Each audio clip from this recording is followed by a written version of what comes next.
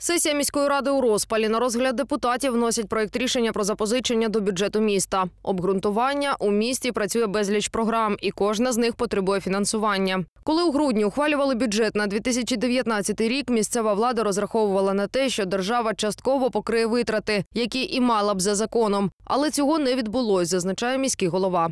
Більше 82 мільйонів нам до кінця року потрібно десь знайти.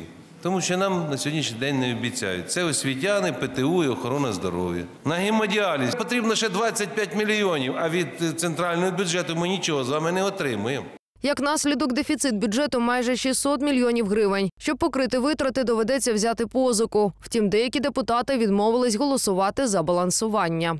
Вот такое есть, такое и есть, короче. И не надо. Встретимся на территории, встретимся на территории, там отдельно поговорим. Розбалансування бюджету може призвести до фінансової кризи. На цьому наголошували колеги Віталія Рябцева. Аби покрити витрати, недоотримані з державного бюджету, довелося б залишити без зарплати лікарів, вчителів та інших бюджетників та не виділяти гроші на співфінансування ремонтів будинків ОСББ.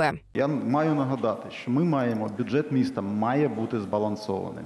Він не має бути з від'ємним з від'ємним балансом по видатках. Це вимога бюджетного кодексу. Якщо ми з вами це не зробимо, це благодаря вам, Віталій Володимирович. Бюджетні установи не будуть отримувати заробітну плату своєчасно, то є так. Да, і тут не потрібно так махати. Треба розуміти наслідки, наслідки ва- вашого політично мотивованого, виключно політично мотивованого рішення, Але депутат продовжує наполягати. Проблема не його. Каже, розумітися на бюджетних процесах не повинен. Все чиновники, которые здесь работают, нанятые менеджеры, которые мы не обязаны быть финансистами, экономистами, понимаете? У меня дырка в бюджете из-за того, что люди не платят за жилищно-коммунальные услуги, за отопление, за другие моменты. Поэтому Владимир я уже Викторович. называл, я о фамилиях сейчас не говорю.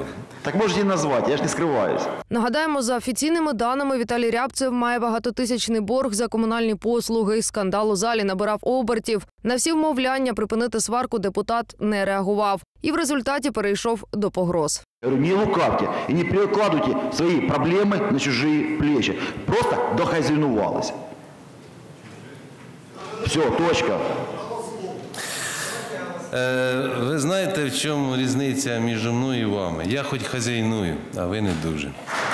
Я надеюсь, вам уже недолго осталось.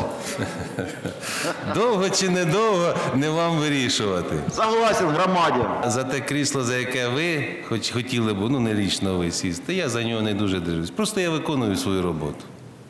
Міського голову підтримали інші депутати. Ситуацію обговорювали близько години. Хватит вже. А вы меня не оскорбили? Вас нет. Как нет? Вы как не оскорбили? Как не оскорбили? Вы вот еще, да, грех, еще раз говорю, не надо мне угрожать. Я тоже буду відвертий. Ви словами, я ділом.